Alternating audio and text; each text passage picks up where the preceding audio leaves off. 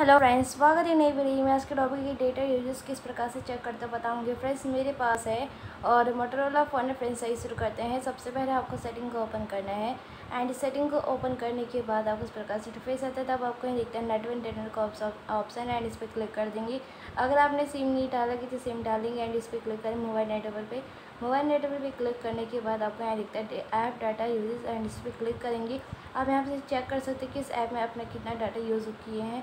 तो देख सकते हैं हंड्रेड के बी मैंने यूट्यूब में खर्च किए और ये प्ले स्टोर में sixty two point seventy three K B and इस तरीके से आप चेक कर सकते हैं और ये टोटल इतना यूज़ हुआ है three point forty four M B use and इसी मई का दिखाया गया है यहाँ पर तो देख सकते हैं। एंड इस तरीके से आप अपने फ़ोन में ही डेटा यूजेस चेक कर सकते हैं।